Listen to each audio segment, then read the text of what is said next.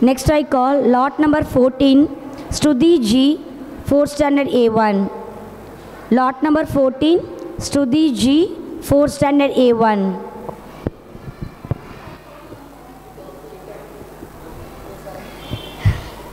இங்கு அமர்ந்திருக்கும் எனது நண்பர்களுக்கும் எனது பெற்றோர்கள் போல் பார்த்துக்கொள்ளும் ஆசைகளுக்கும் பள்ளி நிர்வாகத்துக்கும் என் காலை வணக்கத்தை தெரிவித்துக் கொள்கிறேன் எனது தலைப்பு பாரதியார் இவரை பற்றி தான் நான் இந்த கோடை விடுமுறையில் படித்தேன்.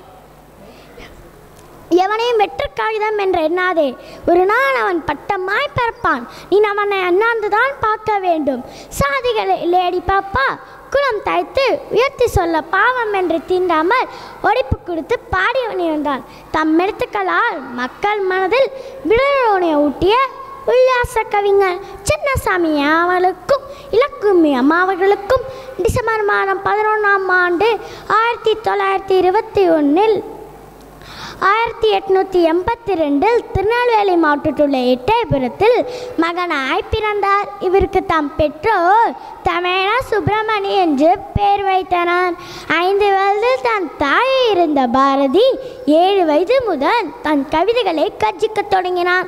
அவருக்கு பதினொன்று வயது இருக்கும்போதே கவி பாடும் ஆற்றலையும் புழுமையும் பாராட்டி அவருக்கு பாரதி என்று பட்டத்தை வழங்கினார். எட்டயபுரம் மன்னர் அன்றையிலிருந்து அவர் பேர் சுப்பிரமணி. சுப்பிரமணிய பாரதி என்றானது சுதந்திர போரில் பாரதியின் படைகள் சுதந்திரக்கான மக்களை வீரக்கொலை செய்தது. இவருக்கு சிறப்பான பெயர்கள் மகாகவி தேசிய கவி அமரக்கவி தமிழ்கவி உலகக்கவி மக்கள் கவிஞன் விடுதலை கவி இன்னும் பல பேர் உண்டு. இவர் எழுதிய கவிதைகள் நூல்கள் கண்ணன் பாட்டு குயில் பாட்டு பாஞ்சாலி சமதம் பாப்பா பாட்டு பூஜாத்திச்சுடி போன்ற நூல்களால் இந்த நாட்டில் எல்லா மக்களும் அறிவோடு திகழ வேண்டும் என்று விரும்பினார். அறிவை தெய்வமாக போன்ற குழந்தைகளுக்காக பாடல் பாடுகள் ஏற்றுகிறார். தமிழ் தமிழர் நலன் பெண் விடலை தீண்டாமை போன்றவற்றுக்காக ஒரு நூற்றாண்டுக்கு முன்றே தன் கவிதைகளை உறக்கத்தேனான் நாம் தேசிய கவிஞர். பட்டங்கள் ஆளும் சட்டங்கள் செய்வதும் பாரினில் பெண்கள் நடத்த வந்தோம் என்று பெண் உரிமைக்காக பாடியவன் இவன்தான்.